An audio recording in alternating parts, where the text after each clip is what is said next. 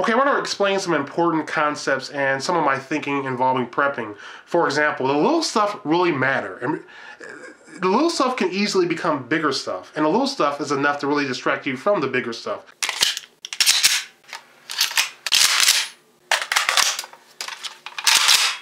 Supro Man uh, wrote, uh, quote, I don't know. Uh, I think in a long-term situation, if you're not strong enough to fight through minor pain, that you need uh, minor medicine like uh, ibuprofen or Aleve, you're not going to live very long. Severe injuries are, of course, a different story, but uh, most uh, of us uh, do not have access to strong drugs. So, uh, yeah, but don't get me wrong, you know, these, these items will help and are easy to stockpile for an emergency, but they will not last very long. Okay, let me dip into that. I was talking about basic things you can put aside for emergency situations. Like for this, I did a whole video on it. Ibuprofen, Aleve, all this type of stuff.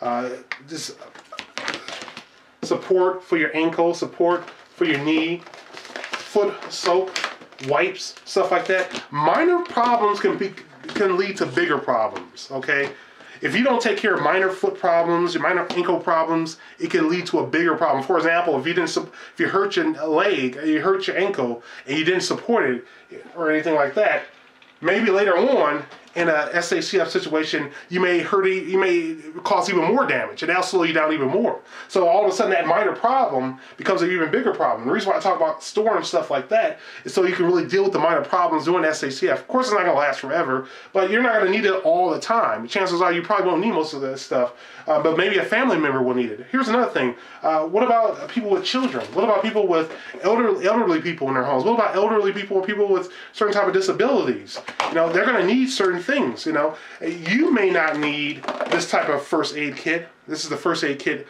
I put together for my uh, home right here. I, guess this could be, these bandages, uh, this packs can be a little bit more organized. They have wipes in there. They have some tape in there. Give, give you guys a look. Now you may not need this stuff in a really bad situation, but somebody else may need it. Somebody else. What about your kids? Some people have kids. Know, it may seem minor pain may be minor to you, but to a kid, that minor pain may be more significant. And uh, you want to store up on certain things so you just have more options. Now, here's another thing. And as you guys know, yes, I do conceal carry. okay, somebody actually um, made a comment that you, you Yanks, uh, you'll carry a gun, but you won't really uh, carry a knife, whatever, and that's not really true. I do carry a knife.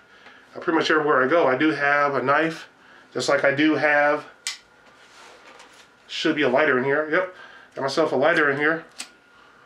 All right, little things like that. Flashlight, also another thing I carry. Make sure it works.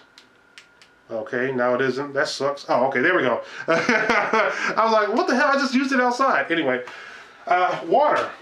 Another thing. Water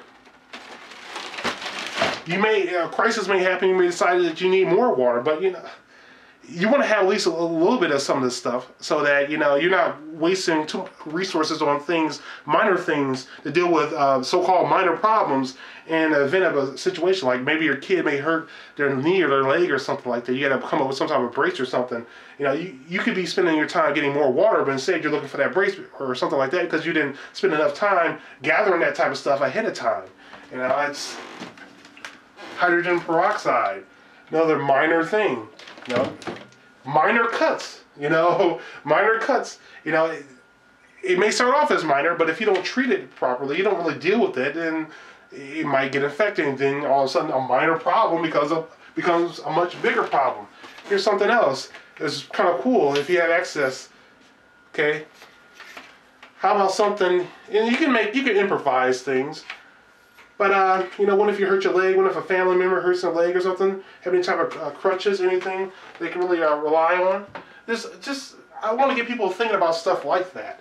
So, the, the little stuff can become bigger stuff, and the little stuff may not be as small as you think. A lot of these little things may seem little because because the lights are on, you got heat in your house, you know, your water is running. So yeah, a lot of stuff becomes, oh well, this is minor pain. It's not a big deal. It's minor pain when you have access to all this other stuff. But when you don't have access to all this other stuff, then all of a sudden that minor pain becomes a huge distraction. You want to be focused on who's trying to creep around your house. You want to be focused on what's going on around your neighborhood, not necessarily on uh, all this so-called uh, minor stuff. So this is why you want to be prepared for the minor stuff so you can focus on the bigger stuff at the time when it comes. All right, guys. Thanks for watching. Thanks for listening. And don't forget, the future belongs to those who prepare for it today. Bye.